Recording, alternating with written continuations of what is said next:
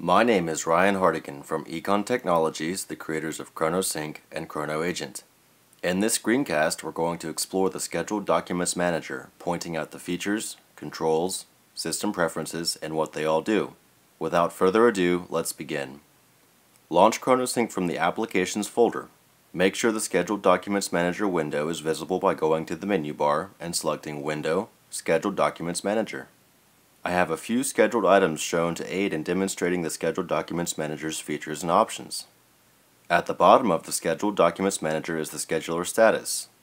If scheduled items are enabled, it will show the next scheduled sync. If there are no scheduled items, it will display the scheduler status. When listed as active, the scheduler is running normally as it should. If it is listed as suspended, scheduled syncs will not run. Change the status of the scheduler from the menu bar by selecting Actions and suspending or resuming the scheduler. You can prevent individual scheduled items from running by unchecking the checkbox next to each scheduled item. To re-enable them, check the checkbox.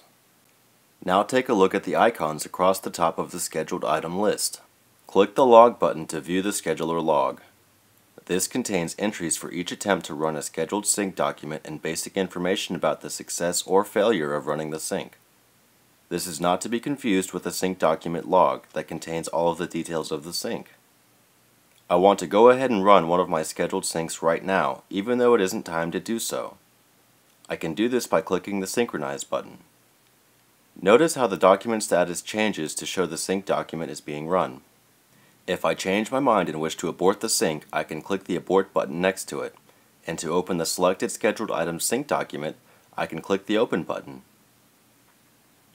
These three actions can also be performed via right-clicking the scheduled item.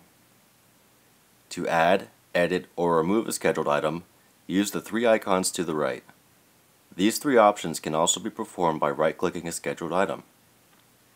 To access the scheduler preferences, click the Scheduler Preferences icon. It is here that scheduler behavior can be customized. Use Background Scheduler, when enabled, allows ChronoSync to run scheduled syncs automatically when ChronoSync is not running. Checking Wake System to Synchronize allows ChronoSync to wake the system to run a scheduled sync if it is sleeping. Run scheduled items sequentially allows ChronoSync to only run one scheduled sync at a time. Automatically Hide Scheduler window hides the Scheduled Documents Manager window when ChronoSync is not in the foreground. Finally, Missed sync behavior controls how scheduled syncs are handled when they are missed due to the system being off, sleeping, or logged out. The syncs can be set to run immediately when the system is available, post an error to the log, or be ignored completely. The Scheduled Documents Manager is a powerful utility that aids in creating and controlling your scheduled syncs.